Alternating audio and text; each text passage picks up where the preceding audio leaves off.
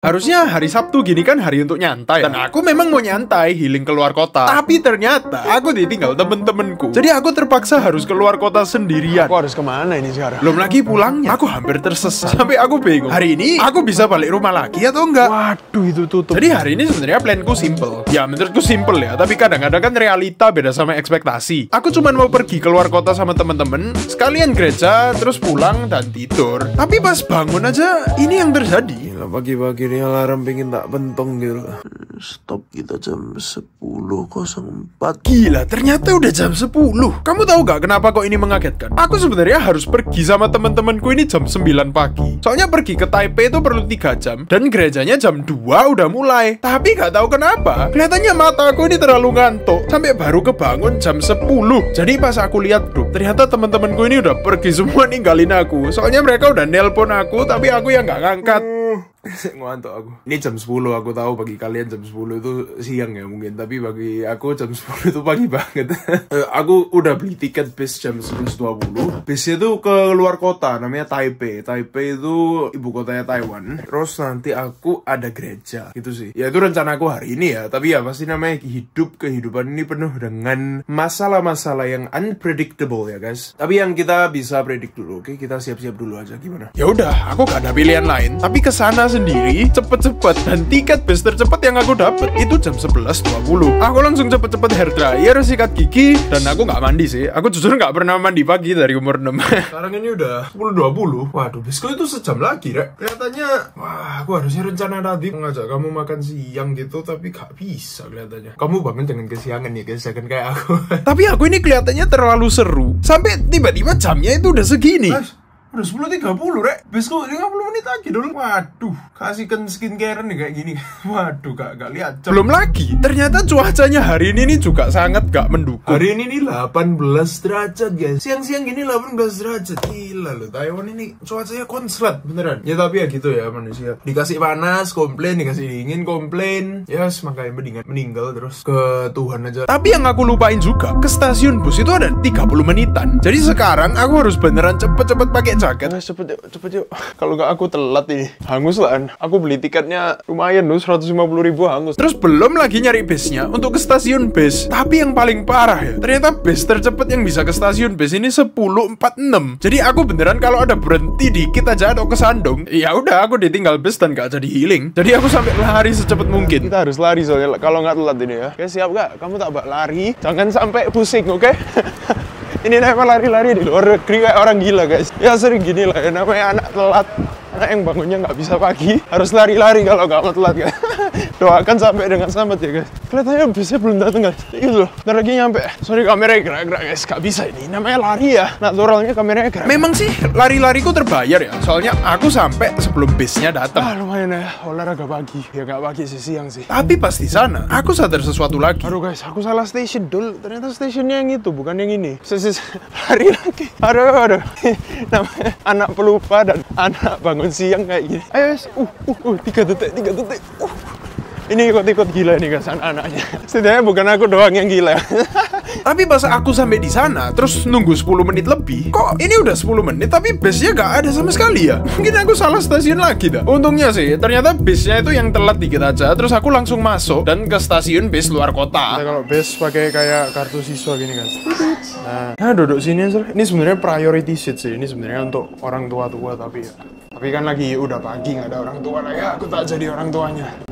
Sebenarnya enaknya di bus ini hari ini biasanya sepi sih. Biasanya bus ini bisa sa- sampai kayak lautan manusia gitu. Sampai duduk ini anak sama ibu itu pangku-pangkuan kayak main Uno gitu. Nah, lihat hari ini, aduh, hari ini sebenarnya cukup sepi. Cuman aku sama nggak tahu nih cewek di belakangku ya kan, nggak ada semua. Kursinya kosong semua lagi. Ya oke lah, aku bisa istirahat sedikit gitu kan ya. Sini. Oke, sekarang kita nyari bus stationnya, oke? Waduh, ketutupan sih. Harusnya di sana loh. Jadi kita harus nyebrang jalan ini dulu. Semoga aja belum telat ya. Gila, 11.06 dulu. Gila, mepet banget.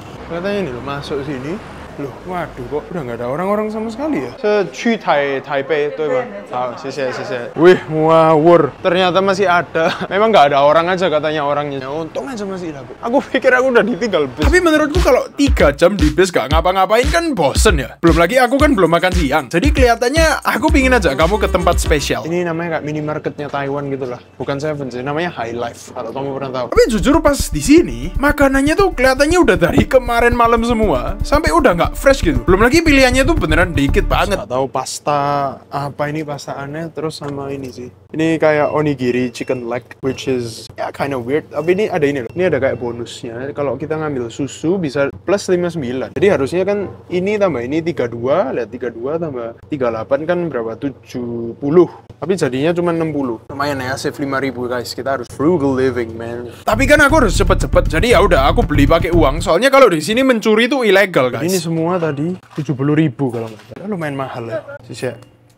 Di sini tuh lihat mereka manasin gitu. Enak kan dipanasin. Terus aku langsung ke bis, soalnya perutku udah gak tahan sama laparnya. Oh guys, kita disuruh masuk. Oke, ini busnya. Wih, lihat kosong belum nggak ada kehidupan sama sekali di sini. Aku nomor 18. Mana 18 ya? Tapi meskipun udah luapernya sampai perutku mengkerut ya, kamu pernah makan di bis atau kereta gitu gak? Kita itu kan gak dikasih meja untuk makan atau apa gitu ya. Jadi buka makan aja perlu perjuangan. Sorry, buka mie aja sulit ini. Tapi ya akhirnya sih setelah 5 menit buka kesulitan spaghettinya terbuka. Aku baru sadar sesuatu. Kamu tahu tadi di di High Life aku gak pakai sompet. Oh, oh komik di sini ternyata ada garpu. Bayangin aku makan pakai tangan gila memang. Baunya sih ya not bad lah ya. Jujur pas aku coba, kelihatannya spaghettinya ini udah dari 24 jam yang lalu mungkin. Rasanya itu cuman kayak mie pakai gula sama tomat dikit terus gitu aja. Kayak nggak ada rasa micin nggak ada rasa garam sama sekali. Anyep banget. Nah makanya gue kadang-kadang kalau makanan ginian ini takutnya nggak enak biasanya. Apalagi kalau di tempat-tempat yang sas gitu. Mungkin 7-Eleven beberapa makanan aku suka ya. Tapi kalau kayak gini high life terus aku nggak pernah makan jadinya kayak gini wes. Ah ya ya udahlah. Tapi kita kan nggak boleh buang-buang makanan. Jadi ya aku tetap habisin. Sekarang onigirinya. kan aku masukin tasku. Jadi sekarang penyet gini. Onigiri chicken leg penyet. Tapi rasa kan nggak berubah ya meskipun penyet cuman mungkin penglihatannya aja yang beda. Kita bukanya kayak gini. Set. Nah terus kita tinggal set. Terus ini di boom boom. Nah udah segampang itu. Aku dulu juga nggak bisa jadi aku dulu buka onigiri itu tak sampai rusak semua onigiri. Jadi terus aku makan pakai tangan. Ngawur ngawur. Ya namanya belajar dari kesalahan lah ya. Nah gini set. Nah aku nggak tahu ini apa ini kok ada kayak merah-merahnya dikit gitu. Kita tetap coba aja lah ya. Siapa tahu enak Juga warna rasanya. Rasa apa ini ya? Katanya kimchi ini kan.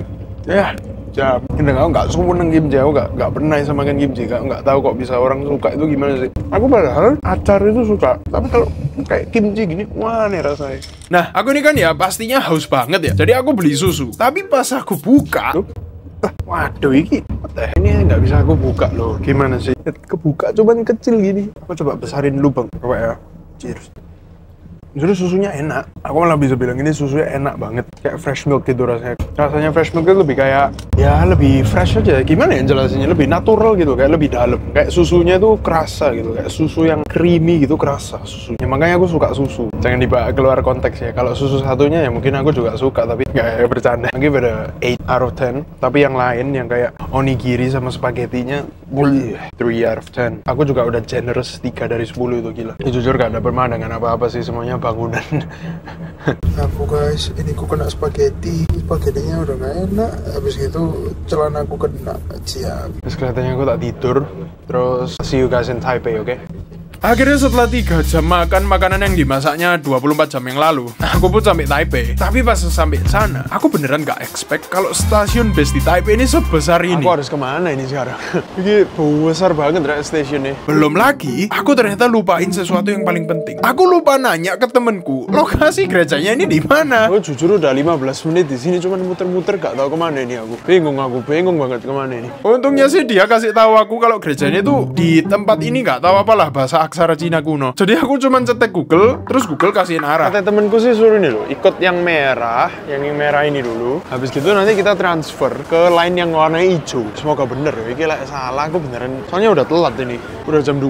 Mulai itu sebenarnya jam 2, terus aku masih di sini. Aku mungkin mentok-mentok itu bisa telat setengah jam mungkin, gila. Masuk ke gereja telat setengah jam guys. Aduh, jangan dicontoh ya aku ini. Tapi masalahnya ini kan stasiunnya besar banget ya. Jadi aku beneran cuman bisa percaya ke Google. Dan kalau salah sedikit aja, ya udah. Kalau kamu ke Taiwan terus lihat orang Indo ngemis-ngemis di stasiun ya, mungkin aja itu bisa jadi aku ya. Oke guys, jadi kita itu harus ikut yang merah-merah katanya. Mungkin maksudnya yang merah-merah itu ini loh, yang ada merah-merahnya ini Tamsui Shin E Line. Nah, sini. Ini katanya aku harus masuk di sini sih. Wah, harus cepet nih, harus cepet, harus cepet. Nah, ini. Ini MRT-nya di Taipei. Jujur aku sampai bengong ini transfer MRT ada gak tahu berapa kali sampai mumet. Nah, aku harus transfer ke ini loh. Line hijau sekarang. Dari line hijau, kita kayak ke mana gitu aku lupa. Terus kita nanti jalan, harusnya nyampe ke tempatnya. Harusnya ya, semoga ya. Puji Tuhannya. Tapi untungnya sih meskipun aku sampai jantungan harus pilih-pilih MRT. Gila itu kalau aku ke sana, aku udah nyasar ke Taipei nggak tahu ke setengah kota. Oke, tubuhku masih aman semua, aman terkendali, nggak ada yang hilang. Waduh, gila guys. Ini donat sebanyak ini. nanti, nanti, nanti. Jangan, jangan kita harus terpaku ke goal kita ya guys. Kita nggak boleh kayak gitu. Oke, makanan itu nanti. Oke, cari Tuhan dulu, baru nanti makanan kita dapat. Oke. Aku sampai ke tempatnya. Akhirnya guys, akhirnya kelihatan lampu di ujung gua. Sekarang ini 2.20. Gereja aku tuh jam 2. Aku udah telat 20 menit ini. Ternyata ya, ternyata gedungnya tuh di sini loh. Ini loh, 101. Ternyata gedungnya di sini sih. Nah, aku ya langsung masuk aja kan, soalnya udah tulet banget. Oh, shalom.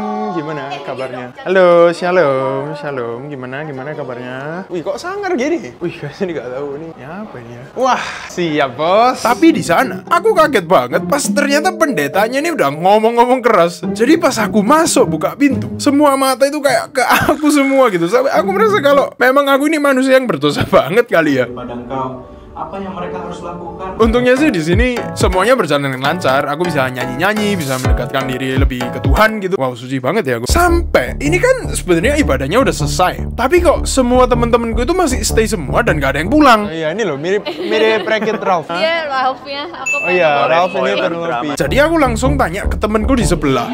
dan saya undang tim communication 945. Kita selesai jam 9.45. Aku pikir cuman sampai jam 4 atau jam berapa gitu kan. Waduh. Jadi nanti kita ini ibadah ada 8 jam. Khusus ibadah, khusus mengenal Tuhan. Itu 8 jam. Ya, ya udah ya, khusus. Ah, udah udah mulai. Ternyata hari ini tuh gerejanya kayak ada aktivitas yang dilakukan setahun sekali. Jadi ibadahnya itu dari jam 2 sampai jam 10. Bukannya aku males gereja tuh gimana ya Tuhan? Tapi jujur, aku ini manusia yang attention span-nya tuh udah rusak. Soalnya tiap hari kehidupanku cuman scroll-scroll TikTok minimal 2 jam gitu kan. Jadi kalau 8 jam di gereja, ya sorry aja ya Tuhan. Mataku itu hampir nutup-nutup sendiri sampai aku hampir ketiduran di sini. Ngantuk capek. Sekarang udah jam 7.16. Aku udah di gereja mungkin 5 jam. Untungnya sih di sini bukan cuma ibadah terus, tapi kita juga ada nyanyi-nyanyi terus dikasih makan. Gila, akhirnya guys makan setelah 5 jam di gereja. Enak ya, dengerin berkat terus dapat berkat. Tapi jujur kalau di titik ini semua makanan itu bisa jadi enak ya. Jadi aku langsung makan aja semua kayak orang zaman batu yang belum makan 48 jam. Apa ini? Ini ayam ayam. Pinter. Jujur sih memang seneng ya nyanyinya di gereja sambil muji Tuhan. Tapi jangan lupa, ini ngelakuinnya 8 jam hampir berturut-turut. Jadi badan itu sampai kerasa kayak habis dipijetin sama emak-emak 2 jam gitu. Dikit-dikit. Belum lagi, sebenarnya bis pulang terakhirku ini jam 11.20 dan gerejanya ini molor sampai sekarang aja udah hampir jam 11. ini bus saya nggak ada. Waduh, kalau kita gereja terus kan nggak bisa pulang. Jadi temenku sama aku mutusin sesuatu yang cukup sulit. Pulang lebih cepet dulu supaya bisa dapet bis. Pulang dulu, bye-bye. Tapi meskipun kita pulangnya lebih cepet ya, ke sana itu perlu minimal 20 menit dan sekarang udah hampir jam 11. Aku lihat bis paling terakhir itu 11.20, terus ini sekarang udah 10.40. Wah, aku langsung harus cepet-cepet kejar MRT. Takutnya nggak nutut ini. Ngawur, kita bisa semalaman di Taipei nih, nggak jadi pulang ini jadi ya. Kita jadi kayak orang-orang nggak punya rumah itu loh. Biasanya tidur-tidur di stasiun. Kok dark banget ya jokesnya. Tapi pas aku sampai, kok kelihatannya nih counternya udah tutup semua ya? Waduh itu tutup. Waduh ini ini tinggal dua nih guys yang buka. Kelihatannya nggak ada ya kayak kota aku ya. Tapi kita harus tanya dulu lah ya. Semoga ada guys gila. Tapi untungnya, ternyata pas aku tanya ke petugasnya, masih ada tiket ke Taichung atau enggak. Mereka ternyata ada bis terakhir jam 11.35, gila. Dapat bis jam 11.35 Hoki banget Ini beneran katanya bis terakhir Ternyata ada 11.35 Tapi ini mungkin nyampe ke kotaku jam 2 pagi Aduh Belum pulang rumah Belum mandi-mandi dan lain-lain Mungkin aku nanti tidur baru jam setengah 4 jam 4 Oh betul betul Tapi kejar-kejar bis ini jujur juga buat perut itu tambah keronyong-keronyong gitu kan. Belum lagi di depanku ini ada high life lagi. Aku langsung ambil semua tosok-tosok ini yang kelihatannya enak. Ya jujur semuanya aku ambil sih. Soalnya mau enak gak enak perut ini udah keroncongan banget. Terus aku mau coba semua di bis. Oh guys Wah enak ini kelihatannya Ya kita tutup dulu tapi ya Tapi kalau cuman tusuk-tusuk gini kan kurang kayak Indo ya, kurang nasi gitu kan. Jadi aku langsung beli ini. Aku ngidam sushi Pengen sushi-sushi aneh gini ya udahlah ya Wah ini guys Bisa makan atau enggak ya ini ya Aku langsung kasih tiket bisnya nih ke petugasnya, terus kita makan bareng di bis. Makan di bis Ini kayak ada isinya gitu Tapi gak enaknya di bis ini ya, orang-orang Taiwan itu doyem banget sunyi senyap. Jadi aku kecap-ngecap dikit aja denger. antara aku yang kelaparan soalnya belum makan malam atau oh tapi enak banget itu kan daging sapi. Sapinya tuh kerasa banget kayak berminyak gitu. Wah, padahal kelihatannya nggak enak ya. Kelihatannya kayak udah kering gitu. Kan kita coba baksonya Wow, ini padahal kelihatannya kering banget loh. Ya me- memang kering sih, memang kering sih. Tapi rasanya tuh bisa keluar banget sapinya kita. Tapi ya udahlah, kita orang Indo harus pemberani ya, tapi jangan sampai merugikan orang. Nih, aku tunjukin setup ya. Aku harus kempit kayak gini, terus HP-nya tuh di sini. Dan bisa lihat makanan gue. Capek jadi kakiku tuh. Selangkangan gue tuh kayak pingin teriak gitu loh. Nah, jujur tusuk-tusuk sama sushi ini enak sih. Tapi aku rasa namanya orang Indo ya. Pasti kita makan itu kan selalu ada sausnya atau sambel atau gimana gitu kan. Tapi ini nggak ada. isinya aja nggak ada apa-apa. Jadi aku langsung punya ide. Kalau kita campur yang tadi, oh ya. Sebenarnya rasanya make sense, tapi pikiranku aja yang nggak make sense gitu. Bakso campur sushi gitu. Kalau sushi ini dicampur kelihatannya bisa enak. Coba ya. Hmm, aku nggak bakal rekomenin ke kamu sih. Jangan lakukan. Tapi setelah selesai makan, sebenarnya masalahnya baru mulai di sini. Soalnya sekarang ini memang udah jamnya tidur. Mataku mulai merem-merem sendiri gitu. Aku bayangin kayak rencanaku sendiri. Tapi aku ini nggak boleh tidur. Terus masih ada dua jaman lagi baru sampai kotaku. Dan tiba-tiba lampu bisnya dimatiin. Ngawur ini. Kelihatannya supir busnya ini beneran mau aku tidur ini. Maksudnya gini, kalau aku memang mau tidur, aku sendiri mau tidur. Tapi aku tahu nggak boleh tidur. Kalau tidur sekarang, nanti di rumah nggak bisa tidur. Pengen nggak bisa tidur sampai jam 5 gitu. Waduh, sleep schedule rusak, bener rusak. Kamu tahu kan, kamu pernah nggak sleep, sleep schedule rusak gitu? Kamu enak kan, benerinnya sulit gitu kan, gila. Tapi ternyata mataku ini beneran gak kuat lagi. Terus kelopaknya nutup secara otomatis. Tapi pas aku buka mata, tiba-tiba Lampunya nyala sendiri kan. Kamu tahu sekarang udah jam berapa? Udah hampir jam 2, bener kan? Uh guys, katanya udah nyampe. Wih, eh, Chongqing Dashi. Bye bye guys. Eh, lu langsung ya, bye-bye. Bye bye. Nah ini pelajaranku dari kemarin guys. Ini ternyata taksi bukan orang mau nyulik aku. Aduh. Oke guys, masih 3 per 4 perjalanan, masih dikit lagi baru nyampe rumah. Ini taksinya luar negeri kayak gini guys. Oh iya. Jujur sekarang ini mata aku udah beneran gak bisa melek lagi Sampai kayak ada nyut-nyutnya di belakang mata gitu Wah, kembali ke lifter saya guys. Lift tahun 90-an yang nggak pernah direnovasi lagi. Jam 2.05 kon. Kondang seharian pergi. Ya, memang sih aku hidup-hidup aja sih ya. Tapi lihat mataku beneran kayak nggak ada kehidupannya lagi sekarang. Buka aja sulit sih. Tapi aku aja belum mandi dan melakukan hal-hal cowok lainnya Kamu tahu yang paling parah itu apa? Aku kan baru buka kaos kaki setelah gak tahu kayak 18 jam pakai kaos kaki sama sepatu kan Terus aku kan coba bau kan